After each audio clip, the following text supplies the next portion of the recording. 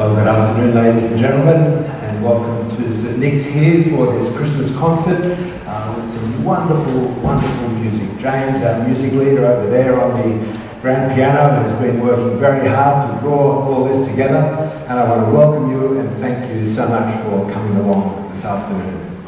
Uh, one thing that's been missing from our lives pretty much this year is joy. And uh, as you can see, there's joy already floating in the air behind me, and there's going to be plenty of joy going through here when we hear some wonderful uh, and beautiful Christmas music which the team has put together. You know, it's been 15 years, just about, or even more than 15 years, since this church, St Nick's, had a choir, and uh, soloist flautist, and today they're making their debut. So, what that means for you is to give them great encouragement and support and uh, get them really G'd up because I'm sure they would appreciate that. As you'll see as well, uh, well, those who are regulars here, we have a new baby grand piano and uh, that's part of the purpose of the concert today to uh, try and contribute to the cost of uh, procuring that. So I want to thank you very much for coming here and buying the tickets because you're helping us get to our target of 12 and a half grand. Please, if you haven't done it, would you please turn your mobile phones off? If you need the facilities, they're in the hall, behind the church, out the front door there to the right, and down the side through the glass door, and you'll find them right there. Please, uh, COVID, social distance if you can, if you can't, uh, and you want to wear a mask, there are masks which are available in the foyer there. And yes, if there's an emergency, that's a great way out, and you can also get out this way, don't try climbing through the windows, they're all barred. We have fantastic music waiting for you, and here we go. James takes away.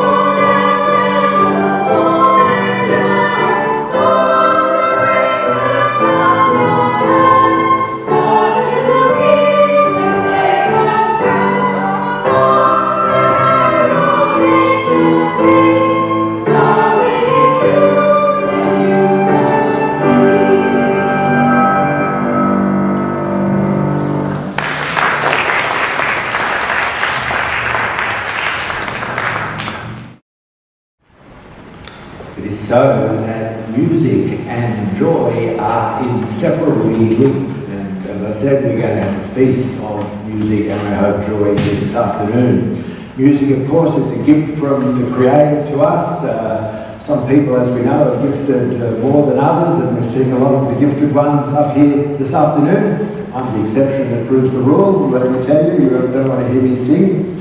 But in the biblical narrative, music and song and joy are so closely linked with some of the major acts of God. For example, when God brought uh, the Israelites out of Egypt, He saved them from captivity there. They got through the Red Sea. Moses, He led them in singing, and they started off with this unbounded joy and saying, I will sing to the Lord, for He is highly exalted. The Lord is my strength and my song. He has become my salvation. He is my God. I will praise him.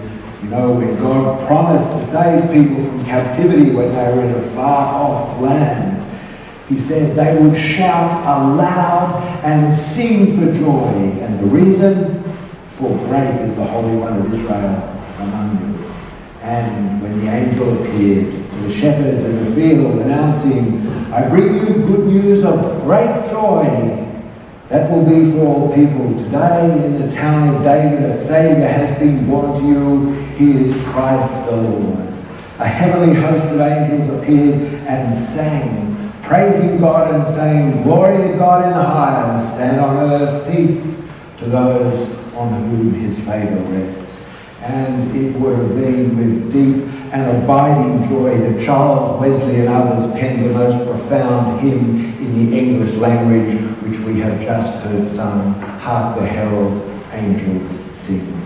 What about us in Advent 2020? This year it's going to cast, everyone tells us, a long shadow over the years to come. Where will we find our joy? Well, there may be a birth in the family or a marriage that will bring joy. The farmers have joy at the moment, the rain has come, but they're passing joys. The baby grows up, the marriage may fail, the drought may come back. Does that mean the joy has to disappear altogether? Certainly those moments of joy on those, the birth, the marriage, the rain, they will disappear. But a joy that can come only from Jesus Christ will remain. He has promised it to those who respond to him in repentance and faith and love, saying, Now Remain in my love. If you obey my commands, you will remain in my love, just as I have obeyed my Father's commands and remain in his love. I have told you this so that my joy, this is Jesus speaking, may be in you, and your joy may be complete. My command is this love each other as I have loved you off the lips of Jesus. You know, complete joy in Jesus is an abiding joy. It stays with us. It gives the foundation of our lives which will stay with us through thick and thin, good and bad. And when the passing joys come, as they invariably will, the intensity of them will be increased because we will know they are from God, our Creator. An invitation to receive the joy of Jesus, that our joy may be complete, is an open invitation to everyone. And the best thing we can do in Advent 2020 is to make sure that we've accepted Jesus into our lives as Saviour and as that we can be joyfully living with Him as Lord. Joy in Jesus wrapped up in a whole lot of love. That's what it is. And that certainly is something to think, sing about, and that's something to herald music, herald with music. And this next piece we're going to hear, J.S. Bach's Toccata, does just that.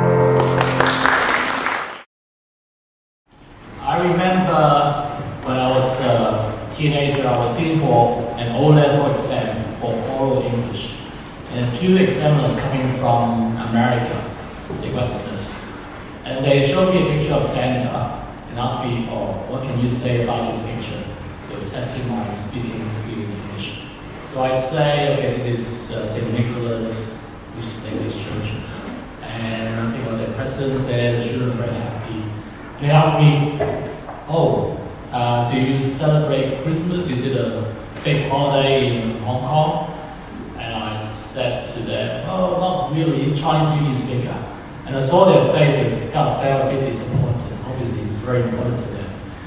But later on, I moved to Australia to study, I start to experience the Western Christmas um, because I joined a church and I realized it's not just for shopping, having a great time, having food and drink, and meeting a lot of people, but it's also celebrating uh, the birth of Jesus because God sent him to us to be with us.